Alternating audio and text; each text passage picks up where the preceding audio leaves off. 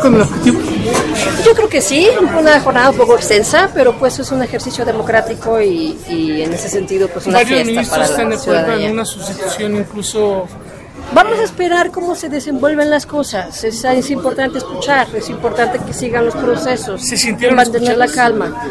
Eh, pues yo creo que sí, yo sí percibí mucha atención a nuestros comentarios y lo que decíamos, yo creo que sí.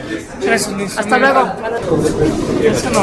Yo creo que vamos avanzando sobre estos diálogos con unas ideas que hay que poner sobre la mesa para discutir con la ciudadanía, tomar las mejores experiencias de lo que hemos construido a lo largo de los años, fortaleza institucional, capacidades de las instituciones y las personas de excelencia que trabajan en ellas, eh, grandes experiencias, se han desarrollado muchos derechos de las personas, se ha trabajado nuestra generación y nuestras predecesoras con responsabilidad, entonces yo creo que todo eso va sobre la mesa para abonar a una reforma que ajuste lo que sea necesario para avanzar un mejor sistema de justicia. Una reforma que sea eh, económica, que sea viable, que sea realista, que sea solvente, que sea amplia, que incorpore todo aquello que la sociedad entiende como justicia, no nada más eh, una, una parte del sector judicial, sino el Poder Judicial local, las procuradurías, las fiscalías, las comisiones de derechos humanos, etc.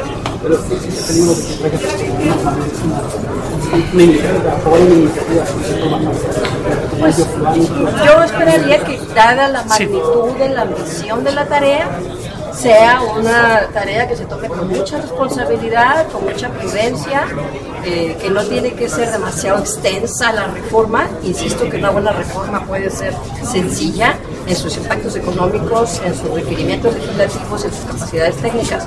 Pero para poder hacer esa sencillez y esa vía económica de una reforma, pues tiene que haber un procedimiento donde sean escuchadas las partes, donde se adviertan los posibles riesgos efectos indeseados, imprevistos, para hacernos cargo de ellos de antemano, ¿no? Gracias, luego. ministro. Muy amable. la- el voto a los. ¿Es adecuado verlo en caso? Pues yo estimo que las personas que están en una función, ejerciendo una función con unos derechos, con un cuerpo de circunstancias, sean pues estos respetados para la estabilidad y para la seguridad jurídica, que debe ser lo más importante de cualquier procedimiento. Se pueden cambiar las cosas, ya mismo estábamos discutiendo posibles cambios. ¿Dentro de qué? De un marco constitucional, de derechos, eh, es decir, pues tomando nota de todo lo que existe, los derechos que se poseen, sin maltratar a nadie y poder transitar como una sociedad en armonía, una sociedad serena, una sociedad con buenas intenciones y con mucho respeto a nuestros semejantes, a las personas que quieren cambio y a las personas que han dado lo mejor de su vida y de nuestros antepasados, de su dedicación por construir instituciones que hoy en día nos permiten estar haciendo en libertad, con seguridad y con tranquilidad nuestro trabajo. Ustedes tienen miedo de algo en la noche, ¿no, verdad?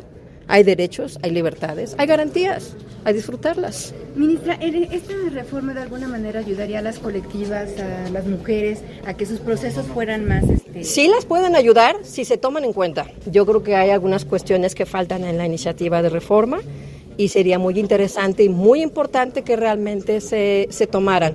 Y me parece muy sensato lo que usted señala de recoger los reclamos de los, eh, pues, de los colectivos y de sectores vulnerables, pues que tienen algo que decir sobre, sobre una reforma judicial. No nada más es cómo elegimos este, o cómo quitamos, ¿no? Es, es saber hacia dónde queremos ir como sociedad, hacia un mejor horizonte. Pues vamos a platicarlo sensatamente, con respeto, con empatía, con buena intención y buen eh, ánimo de espíritu para lograr avanzar hacia algo mejor. Co- construyendo algo bueno con lo mejor de cada quien, Claro. de todas las personas. para que sus procesos puedan salir adelante bien. Exacto, y no, no se rinda en su tema. Yo creo que es muy importante el tema que usted acaba de mencionar, de los colectivos y las minorías. Ministra, reformar también. Contesté una pregunta y ya de repente acabé aquí rodeada. Reformar las, eh, las fiscalías y los ministerios públicos, ¿por qué no incluirlo? ¿O qué opina de eso? Pues como habrá usted quizá escuchado en la intervención de su servidora, eh, a mí me parece que deben ser tomados en cuenta, porque es una realidad que la sociedad mexicana entiende, por ejemplo, fiscalías y procuradurías, ya que lo menciona, entiende que eso es parte de un sistema de justicia. Entiende que los policías son parte de un sistema de justicia. Es decir, todo aquello que se refiere a una autoridad, en este sentido, es parte de un sistema de justicia. Entonces, creo que muchas personas pueden tener la idea de que esta reforma trata de eso. En ese sentido, creo que hay que ampliarla. Hay que abarcar las problemáticas que presentan eh, tanto las personas que enfrentan procesos como también las propias fiscalías y procuradurías para mejorar sus capacidades institucionales en beneficio de quién? De la gente, de la sociedad. Creo que sí deberían llamar, ser llamados a la mesa. No podemos llevar a cabo una reforma, eso lo digo como mexicana, que deje de lado la experiencia que han recogido las fiscalías, las comisiones de derechos humanos, las comisiones de atención a las víctimas, etcétera, ¿no? Y pensar también en otros mecanismos, ser creativos con las soluciones, ¿no? Eh, eh, fiscales, por ejemplo. Yo puse ahí, me atreví a poner sobre la mesa hay algunas ideas para reorientar incentivos y podamos mejorar todo. Muchísimas gracias. gracias.